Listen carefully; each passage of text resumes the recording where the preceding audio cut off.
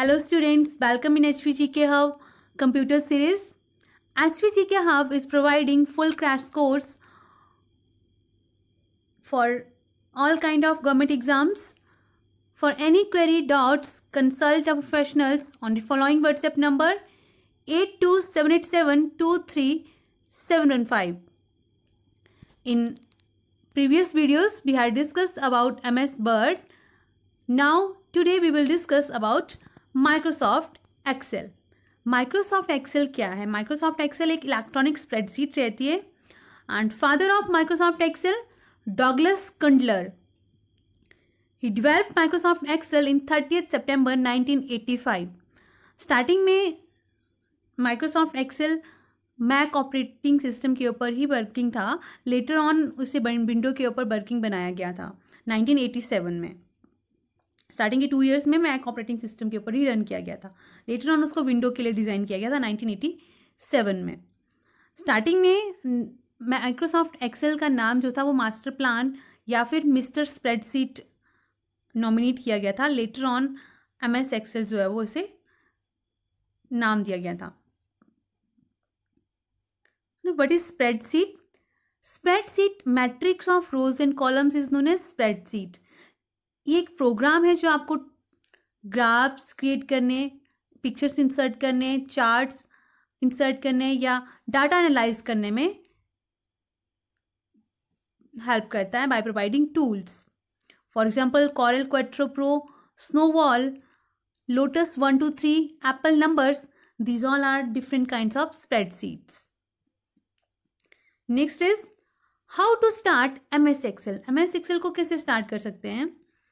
there are two methods to start ms excel first click on start button run option run dialog box type excel there you have to type excel and then press enter key so first method second method is click on start button all programs microsoft office microsoft office excel 2007 जो भी version आपके पास available हो by default जब भी आप file को save करते हो तो उसमें फ़र्स्ट टाइम आप एम एस एक्सेल ओपन करते हो तो बाई डिफ़ॉल्ट उस फ़ाइल का नाम जो है वो book one dot X L S X और book one dot X L S display होता।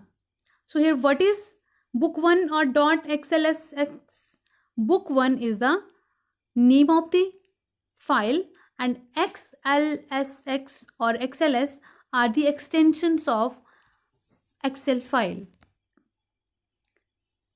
Components of MS Excel. There are generally five components. Title bar, ribbon, tab, status bar or formula bar. Title bar as we had discussed uh, earlier in MS Office, title bar is present at the top of the screen and it displays name of the file and name of the application. For example, जैसे यहाँ आपको दिख रहा होगा book one and Excel.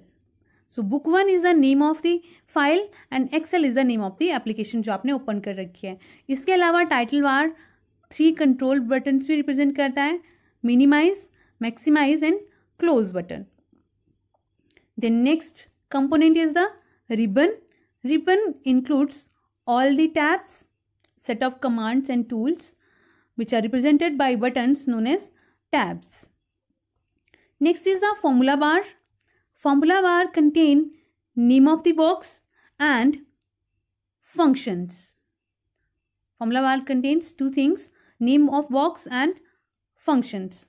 Name box represent name of the active cell. For example, here it is representing A1. So A1 is here A is the name of the column and 1 is the name of the row.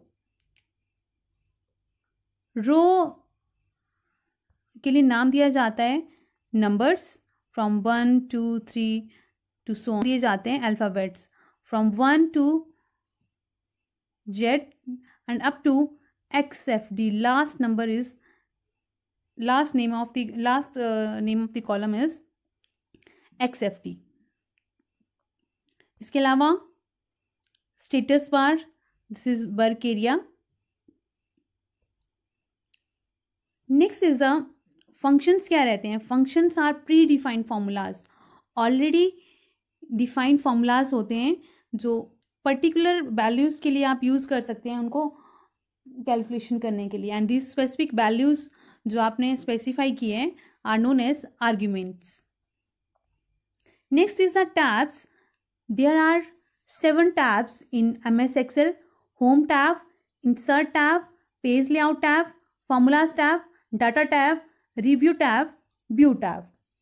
New in MS Excel, difference between tabs of MS Excel and MS Word. Here new is Formula tab and Data tab. इसके अलावा home tab insert tab page layout tab review tab and view tab हम already M S Word में भी discuss कर चुके हैं। New are formulas tab and data tab formula tab की बात करें formula tab includes four groups function library defined names formula auditing and calculations next is the functions functions जैसे मैंने अभी आपको बताया these are predefined formulas जिसकी help से आप स्पेसिफिक वैल्यूज़ का पर्टिकुलर ऑर्डर में कैलकुलेशन कर सकते हैं। By default there are five functions in M S Excel sum average count max min sum by using sum you can calculate values average calculate the average count you can count the number of cells max find maximum value in given list आपने एक list दी है, उसमें आपने maximum value निकालनी है तो आप max function का यूज़ कर सकते हैं min find minimum value in given list these These are by default functions present in MS Excel. Next is the terms of spreadsheet. First, spreadsheet क्या होती है Spreadsheet is a software tool जो आपको data enter करने में calculate करने में manipulate करने में या नंबर ऑफ़ सेट्स को एनालाइज करने में हेल्प करता है that is spreadsheet software tool next is the cell cell is the intersection of row and columns very important question most time exam में ये क्वेश्चन रिपीट किया जाता है but is cell cell is the intersection of rows and column is known as cell this is a cell next is the worksheet an array of cells और एक grid of sales sales का जो एक complete set बनता है that is worksheet workbook a document contains one or more worksheet is known as workbook ऐसा document जिसमें worksheets present हों is known as workbook next is row row के लिए जैसे मैंने अभी आपको बताया कि रो के लिए नंबर यूज़ किया जाता है उनका as a name and columns के लिए अल्फ़ाबेट्स का यूज़ किया जाता है A B C D So here most important question arise number of rows in a work seat and maximum time this question is present in exams. So number of rows in a single work seat is 10 lakh 48,576 and number of columns 16,384. So number of columns and rows in a single work seat. Next is the active cell active cell जिस cell में आप currently work करते हो that cell is known as active cell active cell is also known as selected cell or current cell या फिर cell pointer cell pointer में आपकी cell की बाउंड्री स्पेसिफाई की, की जाती है. At the moment of which cell is active जो भी सेल एक्टिव होता है तो उस सेल की बाउंड्री जो है वो स्पेसिफाई कर दी जाती है. उसको ज़्यादा हाईलाइट कर दिया जाता है.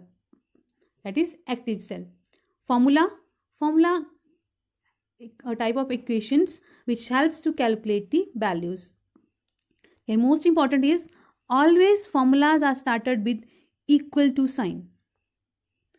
Next is the cell address.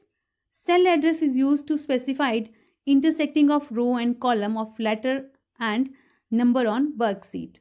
Cell address हमें बताता है कि कौन से रोज में और किस कॉलम में आप वर्क कर रहे हो फॉर एग्ज़ाम्पल आपको सेल एड्रेस दिया गया है सी एट तो here C represents name of the column and eight represent number of the row